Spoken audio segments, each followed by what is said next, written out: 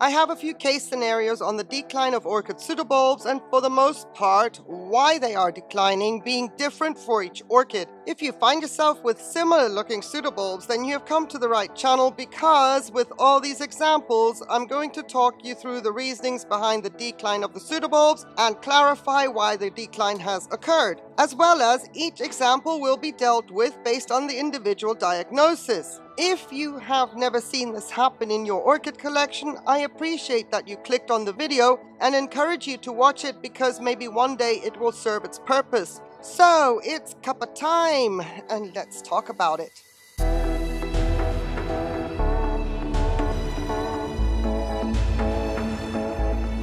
Before I get into all of that, let me tell you that there are many factors why pseudobulbs decline or rot out. The most prominent reasons for this happening are the temperatures drop to a level that the orchid is not supposed to be exposed to, and the opposite spectrum is true as well. It got far too hot for the orchid, taxing the pseudobulb and causing the decline.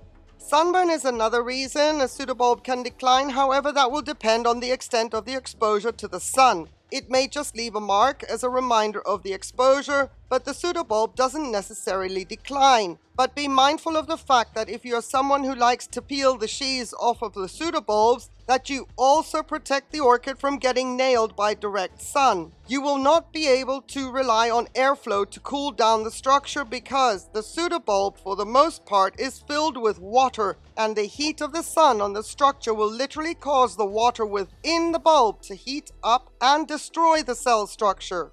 While we find the dried sheaths unsightly after a certain period of time, they do serve their purpose to protect the structure from any harsh elements. Of course, Keeping the sheaths on also makes for a great place for pests to have a field trip. So sun exposure is a real threat to the bulbs if we remove the sheaths because yes, we just talked about the pests, they will do damage to pseudobulbs as well. That does not include the Myrmecophila genus because when it comes to ants especially, if you see a hole at the base of your pseudobulbs on a Myrmecophila, that means that ants are making their home in there. Ants in this scenario do not do any damage to the pseudobulb they populate. The orchids and ants live in harmony and whatever ongoings the ants are up to in the bulb itself, that provides nutrients to the orchid.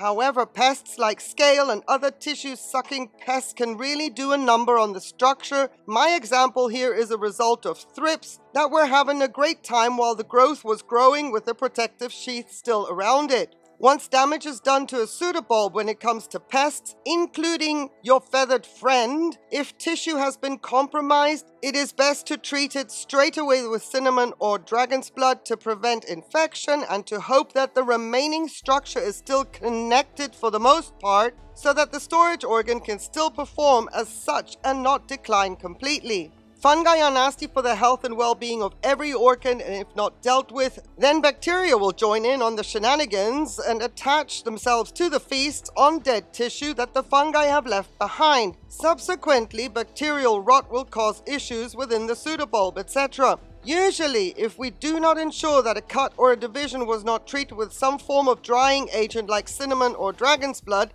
then bacteria does not need fungi to pave the way to get into the structure and take it down. In order to get a correct diagnosis of anything untoward looking on your pseudobulbs, knowing the history of your orchid is important as well. If your orchid has been in your collection for several years, you will have an understanding of how she behaves, and if things like this happen, then that is not normal, and a little bit more recall needs to be done as to if any of the things I have mentioned earlier have occurred for your orchid to start showing unhappy pseudobulbs. If your orchid is a newbie in your collection and you have not had years of experience with her in your collection and something weird is starting to happen, then my examples may also come in handy because you do not know what was going on while she was still with the seller or what kind of conditions she had to endure while she was being shipped to you. So with those common reasonings elaborated on, let me go through and show you my examples, what happened, and this is the end result and how I'm going to go about dealing with each one.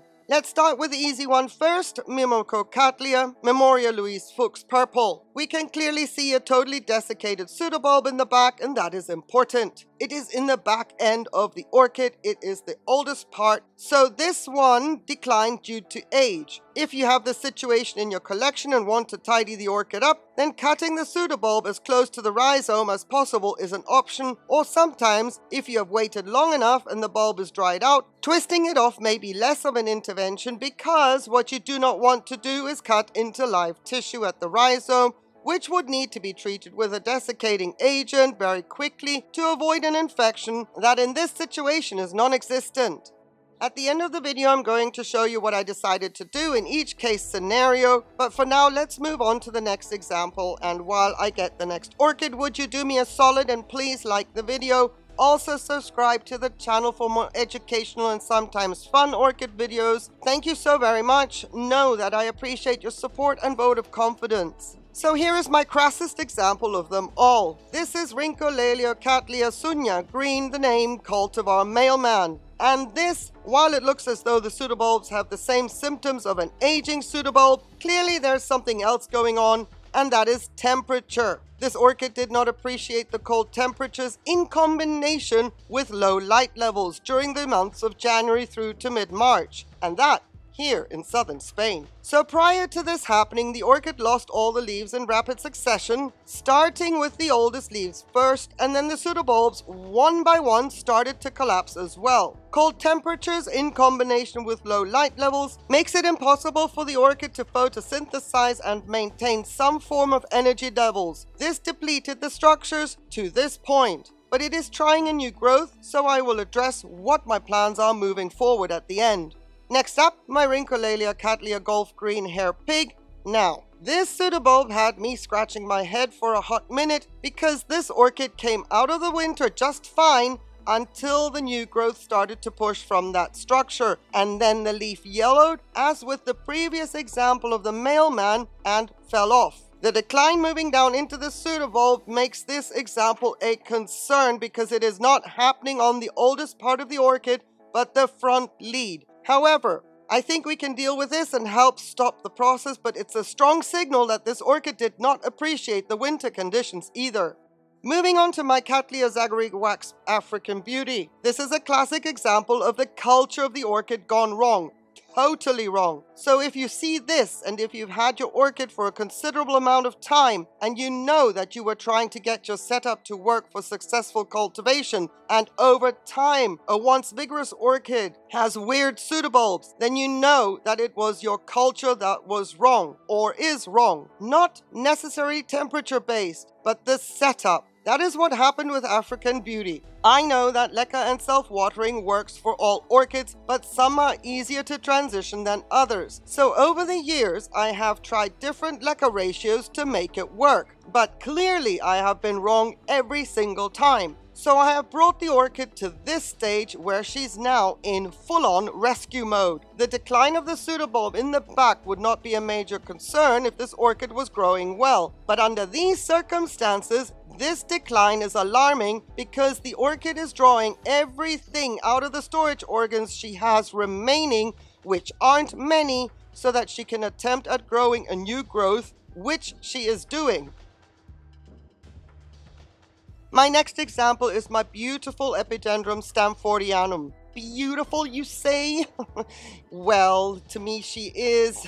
I know it doesn't look like it, but I have been fighting for this orchid since 2018, and until she dries up like all the back bulbs you see here, I will keep fighting for her. With this diagnosis, it is important to also know the history to get an understanding as to why the rapid decline of the pseudobulbs in the back has happened because up until the temperatures warmed up, I still had the larger of the leafless back bulbs looking plump and functioning. Their decline is alarming because this orchid doesn't have anything else to work with but one weak revival growth and the growth from 2022. She is attempting to grow another new growth, and I see that roots are on the move, as in branching. So this expenditure of energy has caused a weak orchid to draw energy from what she had left in the back. She is fighting for survival, needed the energy in the back, and well, is dealing with some underlying issues that she came with. Fusarium has not been positively diagnosed with her, but it is a possibility that she has it, struggled with it for a couple of years, and is trying to grow out of it. Because her root growth last year was sensational. The first time she ever grew gorgeous roots. So, this is an example of an orchid that has a history of not being well, but is fighting to pull through. Now, with all the history and all the diagnosis and all the experience, etc., with the orchids that I'm showing as an example, every once in a while, some orchids will come across and you're going, what happened here and why? So, my last example is a little bit of a head scratcher because this is the only pseudobulb on my Epidendrum oerstedii that showed rot at the base of the pseudobulb. The rest of the orchid is just growing an insane number of new growths. So in this case, I don't want to say it was a pest because I did not see any on the orchid. I cannot say it is cold damage because the orchid did suffer cold stress, but that showed on the leaves. And if it were because of the cold, then I have to ask the question, why only on this growth? Water on the rhizome during the cold period? That didn't happen because she's in a self-watering setup, so during those precarious months, I only added water into the reservoir to avoid the leca from drying out. So sometimes, if you have an example like this, even though I said rot at the beginning of the example, it has not spread either. So sometimes you have to look at a case scenario like this and see that the rest of the orchid is doing fabulously. The area that is compromised is not spreading. That's important. It is isolated to that one part of the rhizome. And in this case, I am doing absolutely nothing. It is not hurting the orchid, whereas me cutting into the rhizome may start a certain chain reaction, which right now I do not have. So I'm letting the growth deteriorate without any intervention just to be on the safe side.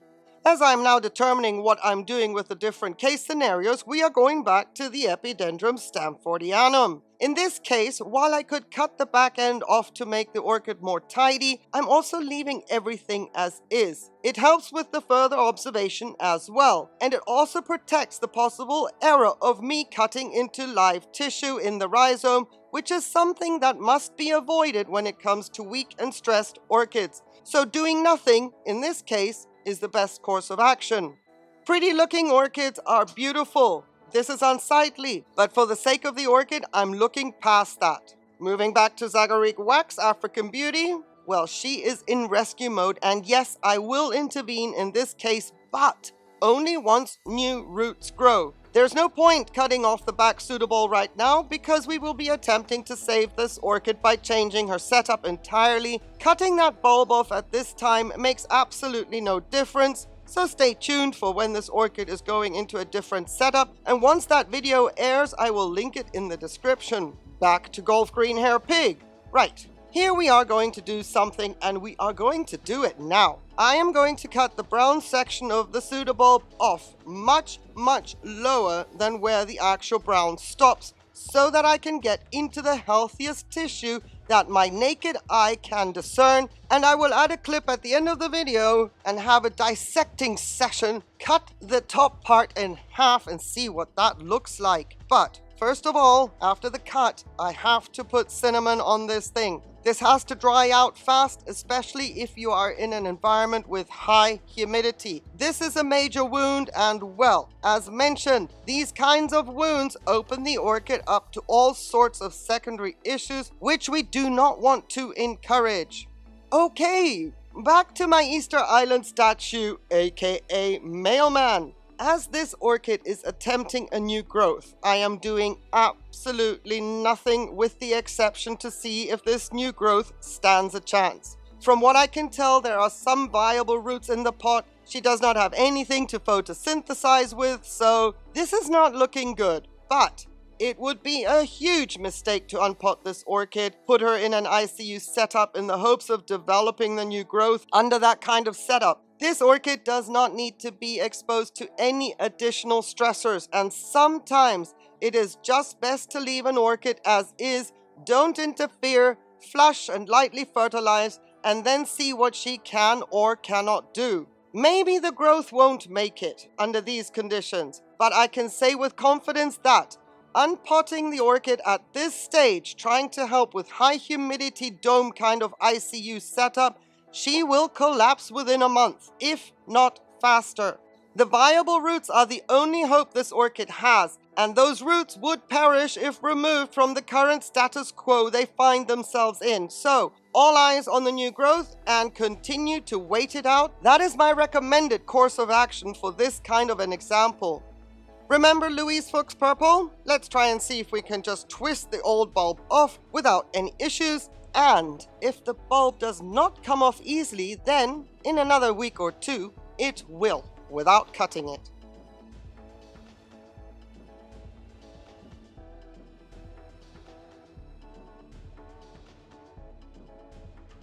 I really hope that this video gave you a good insight into the different variables of why pseudobulbs start to decline, or out of the blue go from great to funky and scary things happening, as well as the decision-making process of what to do in the most common scenarios. If you have any examples specific to your environment and orchid, I have a Help My Orchid questionnaire, which I offer as a service for a diagnosis as well as treatment plan that I can provide a link for if you need help with any specifics. Let me know in the comments any questions, any additional information you would like to share with others that may go to the comments for more information. Please feel free to do so, and I look forward to seeing you there. In the meantime, thank you so, so much for watching. I wish you a fabulous day on that one condition, though please that you stay safe. Take care.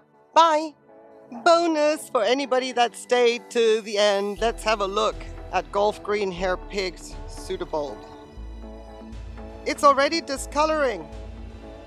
That's super interesting because I didn't put any cinnamon on this. Anyway, let's give this a go. With a sharp chef's knife, I know. My gorgeous knives are being used for orchids. so what else is new?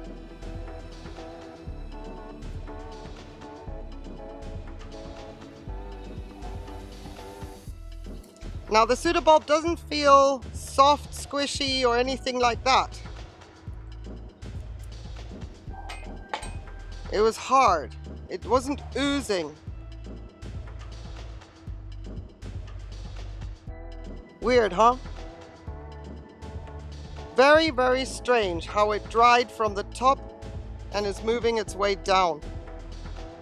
I do believe we got into good tissue because you can see how here it's still yellowy. There's sort of a yellow arc around here. And underneath that, it's nice and green. So we'll see what that growth does. But here we are. Cross section of a declining pseudobulb. Let's hope that golf Green Hair Pig stays in the collection. Thank you for watching. Bye!